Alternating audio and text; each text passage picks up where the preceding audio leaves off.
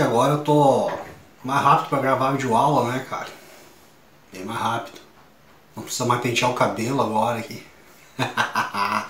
e aí, gurizadinha, beleza? Então, vamos continuar estudando aí sobre a elétrica, tá? E para a gente começar o nosso estudo técnico da elétrica, nós vamos falar primeiro de uma linguagem popular da elétrica. Então, com certeza você já, já ouviu, já fez, quando você vai ver um aparelho é, elétrico, né, um eletrodoméstico, você vai lá e vê qual é a voltagem. Ah, essa voltagem aí é 110. A gente já vai ver que já nem existe mais 110 aí. Mas essa voltagem é 110, é 220, vou ter que botar o transformador, é bivolt. Né? Então, lembrando né, que voltagem é, a gente usa essa palavra é, apenas na linguagem é, é, popular, né, na linguagem popular, no dia a dia, mas a voltagem, tecnicamente, essa palavra é, não existe, né? São os volts, né, uma unidade de medida. Então a gente ouve falar disso aí, né? Quantos volts? É 110 volts, é 220 volts, é bivolts. Mas o que, que, são esses volts? Né? Se eu falei que volts é uma unidade de medida, é porque se está medindo alguma coisa.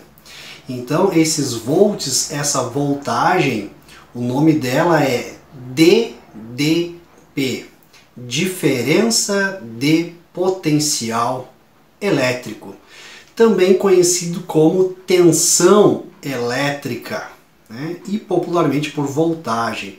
Então, DDP, diferença de potencial, tensão elétrica, também chamada aí de voltagem. Tá bom?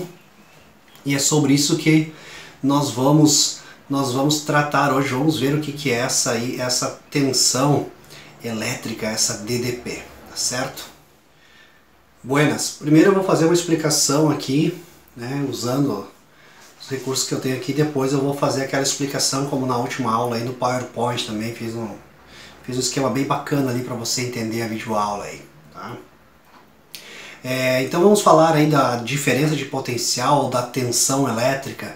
Falar em tensão elétrica também, agora me veio aqui na mente, você já deve ter ouvido, ouvido, né, ouvido falar lá sobre a rede de alta tensão, né, rede de alta tensão. Né?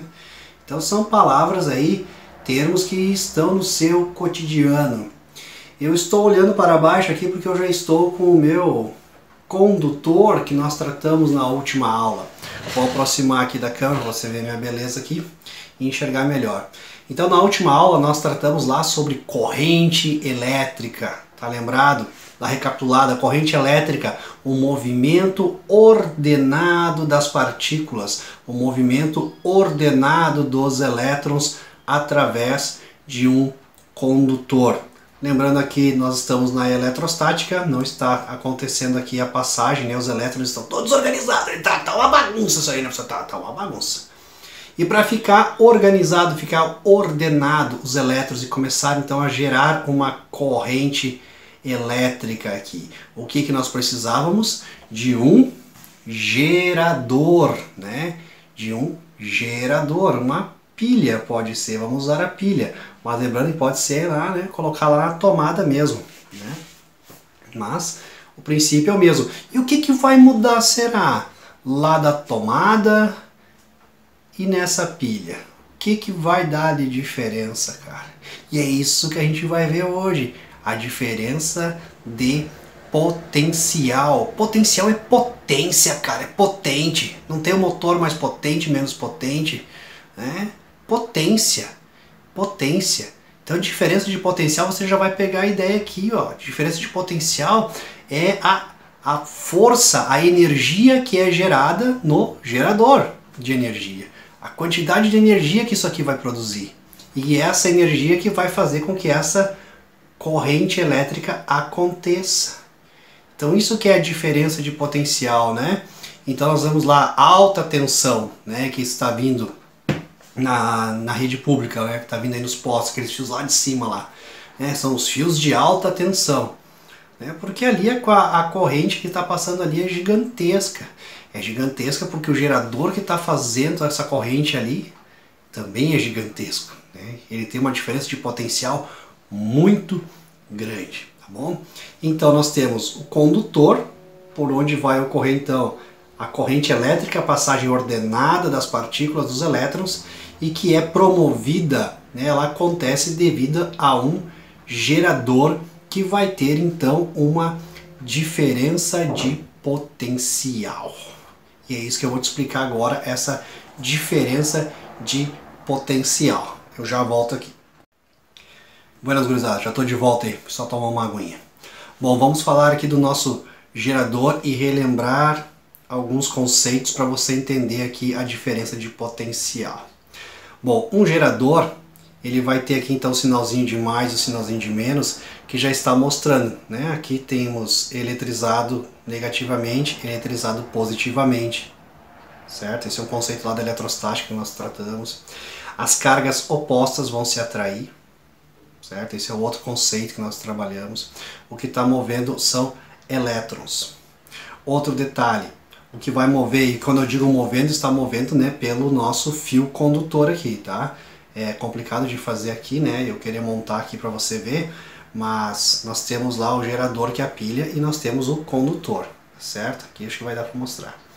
É, então, esses elétrons, e ao colocar aqui, gente, só de tocar aqui, ó, tá? vocês vão achar que é besteira, mas já esquentou a minha mão. Tá? Muito louco, cara. Tá certo? Você deu até uma esquentadinha aqui.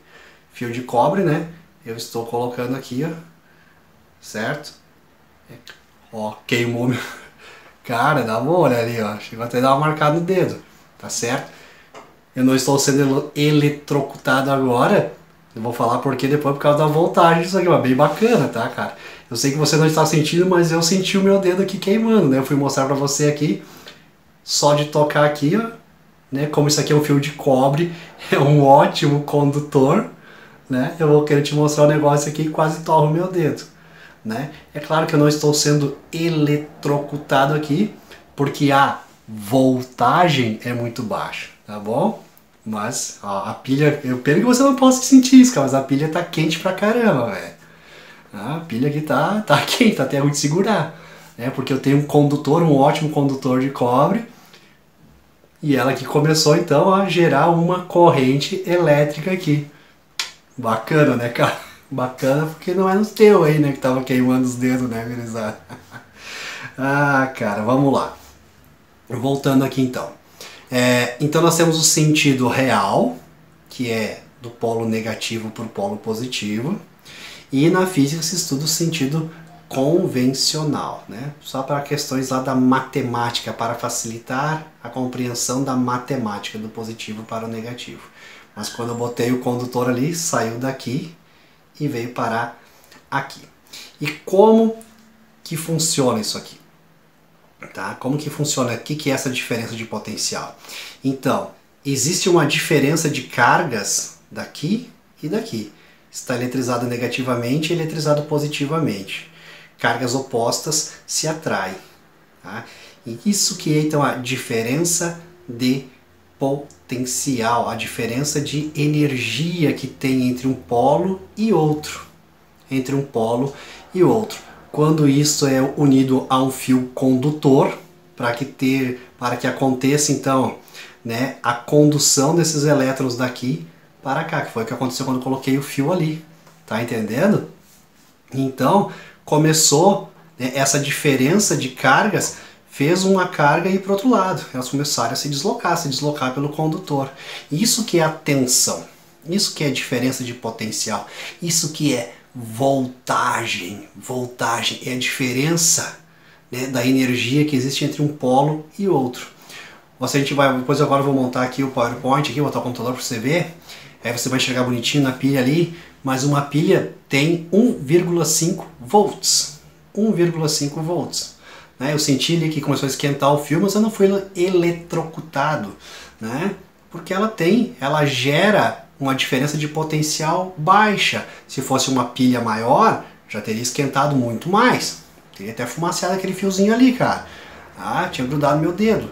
Tá? E, então essa pilha, assim, essas pilhas aqui pequenininhas, né, tem aqui 1,5 é volts. Né? Quando eu falei lá no, no começo do vídeo, lá, 110, 220, né? É, 110 não é mais, hoje na verdade é 127 volts ou 220 volts, né? Nós aqui na nossa cidade, aqui em Brusque, aqui nós trabalhamos aí a 220, 220 volts em nossas residências. Mas os aparelhos é, eletrônicos hoje, eles já vêm, né? Que a gente chama lá o bivolt para trabalhar nas duas voltagens. Voltagens. Legal, gurizada? Eu vou ali passar uma pomada no dedo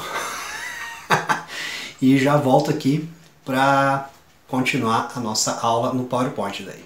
Então, galera, estou colocando aqui, meu controlador está aqui para a gente fazer umas explicações agora aqui para a gente ver bem certinho essa DDP. Então, botei aqui, ó, diferença de potencial, que é o assunto que nós estamos trabalhando aí da elétrica. Então, é DDP, que é a sigla.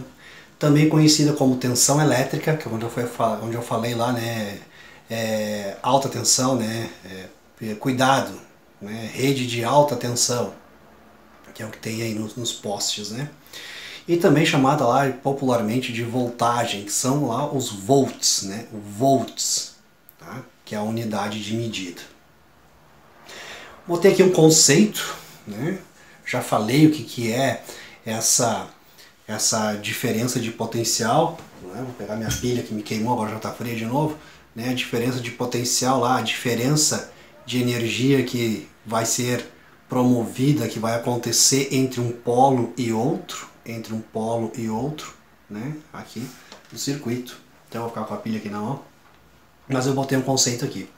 Potencial elétrico é a energia de um gerador, uma pilha de um gerador, que promove uma corrente elétrica, que promove sempre, relembrando, vai ficar bem explicadinho isso aqui, tá?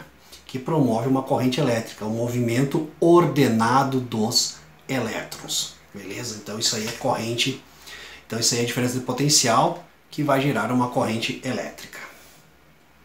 O símbolo, é, quando a gente vai fazer cálculos, lembrando que eu não vou forçar muito em cálculos não, eu quero que tu pegue é, a, a essência do bagulho aqui, né? Tu, pegar, tu entendeu o que, que é, não adianta, ó, oh, tô fazendo as contas aqui, ó, merda do céu. Einstein não fazia as contas, tá, cara? Mas ele tinha a essência do bagulho, né, cara? E é isso que tu vai pegar aqui. Mas na hora de fazer os cálculos, a diferença de potencial é representada pela letra U e a unidade de medida é o V de volts. Lembrando lá da primeira aula, quando eu falei lá sobre o histórico né, da eletricidade, né, como se desenvolveu o conhecimento da eletricidade através dos tempos, eu falei lá do italiano do Alessandro Volta, cara lá que fez né, a primeira pilha lá, a pilha de volta. Então, em homenagem a ele, é o Volts, em homenagem a Alessandro Volta. Vou mudar aqui. Seguinte, então aqui temos detalhezinho da pilha. Até consegui pegar a mesma pilha aí, cara, igualzinha, velho, ó, pra você aí, ó. Ó, oh, até isso eu faço aí, hein, galera, hein. Então aqui, ó, mostrando os dois polos, né. Temos aqui o positivo, lá embaixo vai ser o negativo. Tá? Lembrando que a nossa corrente, né, é, que a gente estuda é do positivo para o negativo, que é a corrente convencional. Mas o que eu botei em destaque aqui para você, que está aqui em vermelho, ó, 1,5 volts. Este 1,5 volts que está aqui marcado, então, é a tensão, é a diferença de potencial que esta pilha tem. Nessa imagem aqui, qual é a tensão? Qual é a diferença de potencial que existe nessa imagem? É simples, 3 volts, porque são duas pilhas, né? Tem 1,5, se eu colocar outra. Tem aparelhos que vai funcionar com uma pilha, um relógio, por exemplo. Ele precisa para que ocorra é isso que tu tem que pegar, cara. É a essência, a essência, a essência. Para o relógio lá, né? Relógio de parede lá, funcionar, aquele mecanismo todo, ele precisa que gere determinada corrente elétrica lá dentro do circuito lá para as engrenagens rodarem. Mas precisa ser uma corrente elétrica não muito forte, não precisa ser uma corrente elétrica a milhão aqui. Pode ser uma corrente elétrica, né, que vai ser é, não tão forte, não tão rápida para o relógio funcionar. Se colocar demais lá, pum, vai estourar as engrenagens. Então ele precisa de uma corrente elétrica de determinada é, de uma determinada é, amperagem, amperagem, amperes, né, determinada quantidade de energia lá. Para o relógio, uma pilha já serve, 1,5 volts já é o suficiente. Para um outro aparelho, né, para um controle remoto, por exemplo, já precisa lá de duas pilhas, vai precisar de 3 volts, senão não vai funcionar, porque ele necessita ter uma corrente elétrica maior lá dentro do circuito para ele funcionar. Sim, sim, sim. Tá pegando, tá pegando a essência, tá pegando, tá pegando a essência. Ah, vamos lá. Beleza. Então vamos aqui, ó. Mudar o slide. Aqui, ó, fiz um esquema para você, ó. Então nós temos um circuito aqui, né? Onde nós temos o gerador que é a pilha, o gerador que é a pilhazinha, aí é igualzinho a cor lá. Ah, tá? Então nós temos aqui o polo positivo, aqui embaixo o polo negativo. Esse gerador, então, ele vai ter uma diferença de potencial entre esses dois polos, entre o polo negativo na parte preta aqui e o polo positivo aqui na parte mais clara. E aqui então vai ocorrer uma essa diferença de cargas, essa é isso, essa diferença de cargas que existe entre o polo positivo e o polo negativo vai gerar uma energia, por isso que o gerador está gerando energia.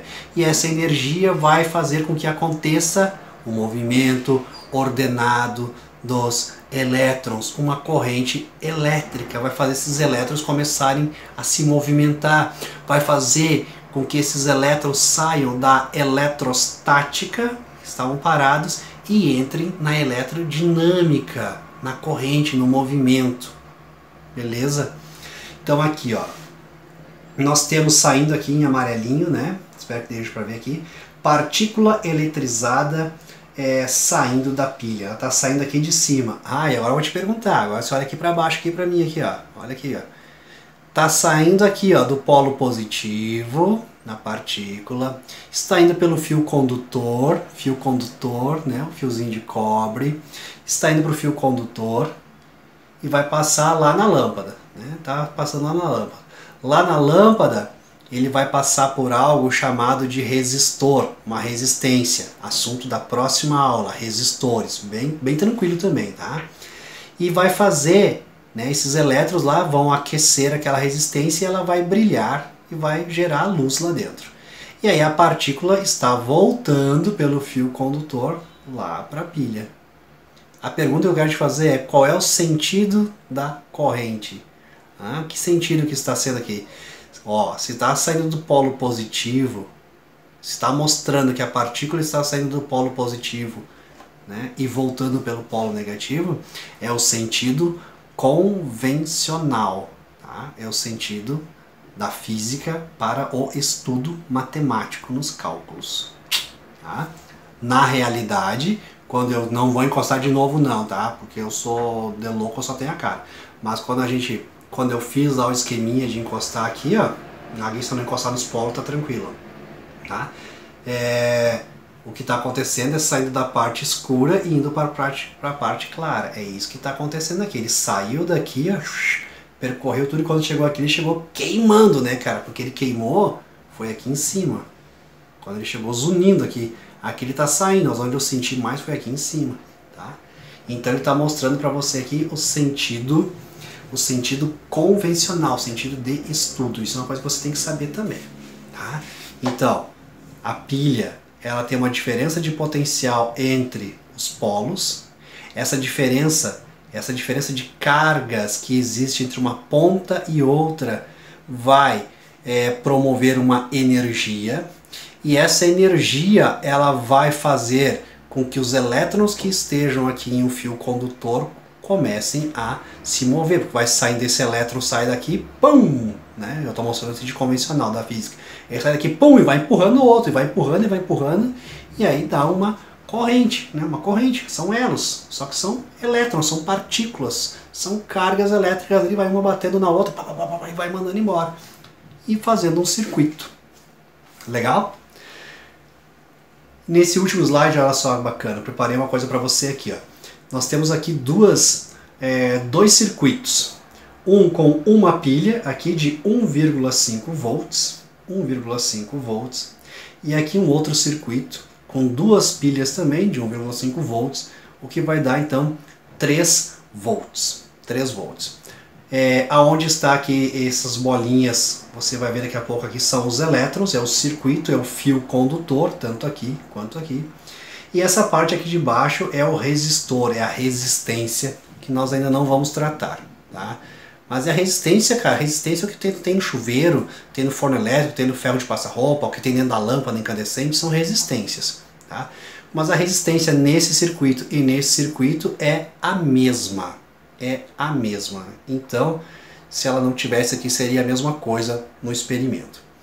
Você, eu vou dar o play aqui, ó, e você começa a observar. Nessa aqui, onde só tem 1,5 volts, você vê a velocidade com que os elétrons estão percorrendo aqui, ó. Certo? Eles estão percorrendo com uma certa velocidade. Já nessa outra aqui, onde tem duas pilhas, você observa que está muito mais rápida o, a velocidade aqui, né, está muito mais rápido o deslocamento desses elétrons, porque ali existe uma tensão maior, os volts são maiores, né? volts, ou se tu quiser chamar de voltagem, tanto faz, cara. A voltagem aqui é maior, é o dobro, é o dobro. Então aqui seria uma pilha, como estaria funcionando lá o teu o relógio da parede lá, ó, tá? E aqui, ó, com duas pilhas, já ficou muito mais é, acelerado o movimento das partículas. Aumentou a intensidade da corrente, que a gente viu na última aula. A intensidade da corrente ficou muito muito maior, porque foi fornecido a este circuito uma energia maior, uma voltagem. Eu vou falar voltagem que é para você entender, cara. Uma voltagem maior. Você entendeu aí? Né? Agora chegou aí no final, vai chegar no finalzinho. Tá? Então, vamos lá, um play de novo aqui. 1,5 volts é aqui o dobro. Então essa diferença de potencial aqui, ó, está promovendo uma energia que vai fazer esses elétrons se deslocarem a uma certa velocidade, com uma certa intensidade, que foi o que a gente viu na aula passada. Como aqui é o dobro, a intensidade é muito maior, cara. Vai se locomover com o dobro. Entendeu, gurizadinha? E aí, galerinha? Ficou bem explicado aí pra vocês aí? Espero que sim. Então a DDP, né? DDP, diferença de potencial, é a diferença que existe, né, entre um polo e outro. É essa diferença. Diferença de potencial. A potência que existe aqui é diferente da potência que existe aqui. A quantidade de cargas aqui está eletrizado negativamente, aqui vai estar eletrizado positivamente.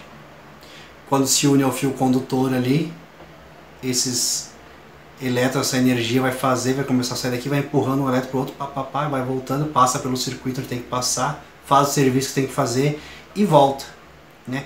Lá na tomada, na tomada não tem que ter lá dois pinos. Ai, professor, mas são três pinos. Tá bom, usar aqui um é, é, o fio terra, né? Tá ligado, né? É o fio terra. Mas toda tomada, né, e algumas ainda tem, elas são lá de dois pinos. E por que tem que ter dois pinos?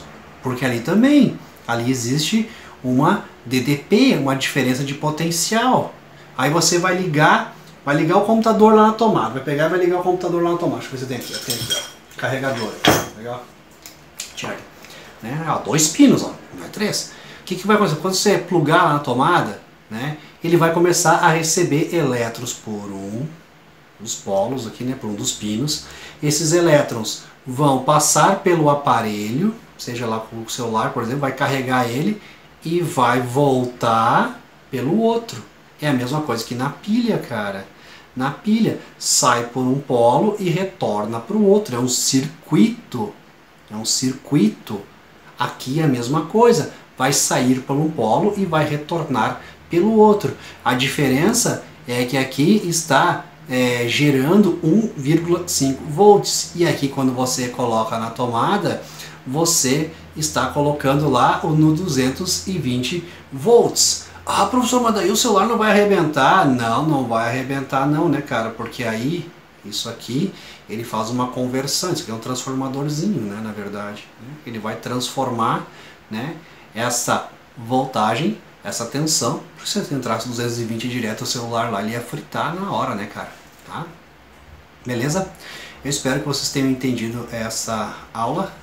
Acho que ela não ficou tão longa. Tem o pessoal aí, tem a gurizão que tem... O cara coloca uma videoaula de 25, 30 minutos, o cara diz que a aula é muito longa, né, cara? Aí tu posta uma aula aí a cada 15 dias. Até mostrei as contas pra ele aí, né? Você dá três aulas por semana, aí dá duas horas e, e 10 minutos de aula, quase, 2 horas e 15 de aula por semana. Aí por semana os caras têm 30 minutos de aula e acho muito ainda. Mas tá bem explicadinho, né, cara? Espero que sim. E eu espero que vocês tenham entendido aí a diferença de potencial. Valeu, gurizada. Até a próxima.